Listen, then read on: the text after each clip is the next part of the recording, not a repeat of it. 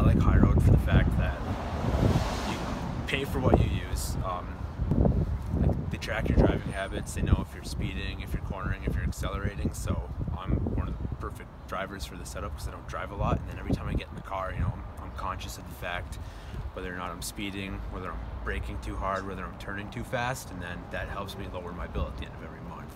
Do you find you drive better now because you know you're being watched? Definitely.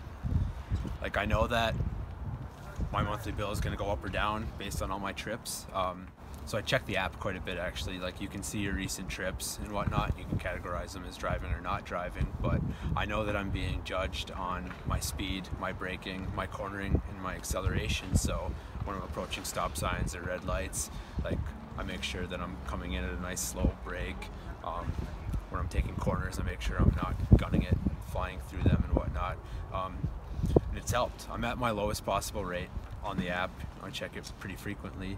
I check my trips. Um, but it definitely helps me personally be a better driver, and I think in general, everybody who'd sign up for it, if they were conscious of the fact that they're being judged on these four categories and make the road safer for everybody.